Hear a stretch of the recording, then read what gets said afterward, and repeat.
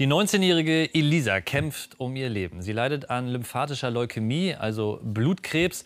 Wo andere den Lebensmut vielleicht längst verloren hätten, kämpft sie mit ihren ganz eigenen Waffen. Unter anderem mit ihrer großen Liebe, nämlich ihrem Freund, mit ihrem ganz tollen Lachen und mit einem sehr kreativen Blog. Und das, obwohl sie immer wieder sehr, sehr schwere Rückschläge hinnehmen musste. Ganz im Ernst, Krebs, du bist so ein Arschloch.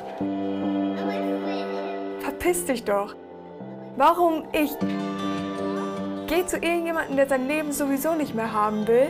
Ich will leben. Warum, warum greifst du mich an? Eine herzergreifende Geschichte einer jungen Kämpferin.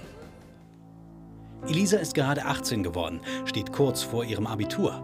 Doch dann verändert der 5. Oktober 2016 ihr Leben komplett, von einem auf den anderen Tag. Seit Monaten fühlt sich die Schülerin aus Nordhorn schlapp, ist immer wieder erkältet, bekommt schwer Luft, muss Antibiotika nehmen. Elisa rennt von einem Doktor zum nächsten, aber niemand kann ihr helfen. Bis sie eines Tages zu einem HNO-Arzt kommt, der sie sofort als Notfall ins Krankenhaus überweist.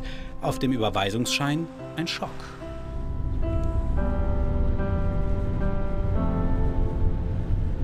Als wir dann auf dem Weg nach Münster waren, habe ich Lymphom gegoogelt und dann stand da, dass es eine Krebserkrankung ist, die aber gut oder bösartig sein kann.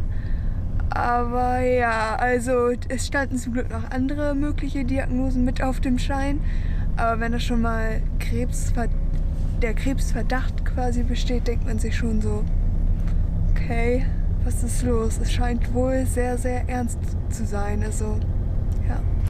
Nach etlichen Untersuchungen im Krankenhaus dann die endgültige Gewissheit. Elisa hat Krebs. Blutkrebs. Außerdem sind einige ihrer Lymphknoten von Tumoren befallen. Elisa muss sofort operiert werden, liegt eine Woche lang im Koma. Dann folgen mehrere Chemotherapien über Monate. Und dennoch ist sie immer positiv. In dieser Zeit weicht Elisas Freund Jale nicht von ihrer Seite. Und das, obwohl sie zu diesem Zeitpunkt erst seit sechs Monaten ein Paar sind. Die beiden gehen aufs selbe Gymnasium, sehen sich täglich. Die Diagnose ein Schicksalsschlag, der sie aber noch enger zusammenschweißt. Klar ist das ein totaler Schock, so, das muss man einfach so sagen, aber ähm, für mich war das klar, dass das jetzt, dass, dass da jetzt äh, für mich sich da jetzt nicht viel dran ändert. Also ich habe sie halt vorher geliebt und dann äh, gibt es da keine andere Möglichkeit, so als äh, zu sagen, ja, wir müssen, das, wir müssen das durchstehen, wir müssen kämpfen. Die erste richtige Partnerschaft für Elisa. Sie sagt, ohne ihren Freund hätte sie es niemals geschafft, so kämpferisch mit der Krankheit umzugehen. Jale ist für mich eine Riesenstütze.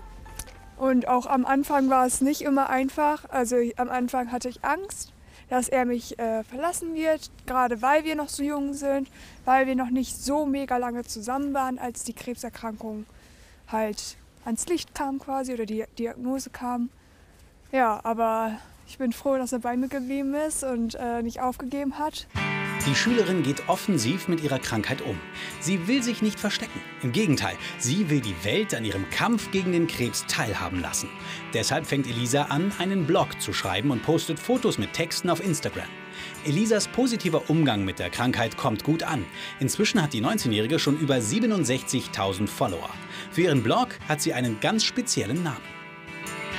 Ich habe ihn Ich und Voldemort genannt, weil ähm, ja, Voldemort ist ja von Harry Potter bekannt, ist dort das Böse, auch glatzköpfig, also ein bisschen makaber, aber ja. Und ähm, ist am Ende aber gestorben und wurde besiegt und kann nie wieder kommen und entstehen. Und ja, habe dann gedacht, warum nenne ich meine Website nicht auch oder meinen Blog nicht auch Ich und Voldemort. Was für andere Paare selbstverständlich ist, ist für Elisa und Jale großer Luxus. Denn Zeit miteinander verbringen, im Bett liegen und Serien schauen, das war lange nicht möglich. Mehr als anderthalb Jahre hat die Krankheit alles beherrscht. Schmerzen und heftige Nebenwirkungen der Chemotherapie. Dass ich überhaupt wieder so mit Jale hier im Bett liegen kann, ohne Schmerzen zu haben, ohne drüber nachzudenken, dass ich mich vielleicht gleich übergeben muss ohne zu wissen, ich muss morgen wieder ins Krankenhaus und so weiter. Das ist, das kann man nicht beschreiben. Das ist, also einerseits ist es schon ja ganz normal so, dass man nicht mehr so leidet unter Nebenwirkungen von der Chemo und sonstiges. Aber andererseits denkt man sich auch, wie, wie toll das einfach ist und wie mehr man das wertschätzt, dass man jetzt so normal hier liegen kann. Dann eine entscheidende Wendung. Elisas letzte Chemotherapie war erfolgreich. Momentan sind alle Krebszellen besiegt, alle Befunde negativ. Ob das so bleibt, weiß sie noch nicht. Aber es sieht gut aus. Ich glaube, man kann das nicht in Worte beschreiben, wie glücklich man dann tatsächlich ist.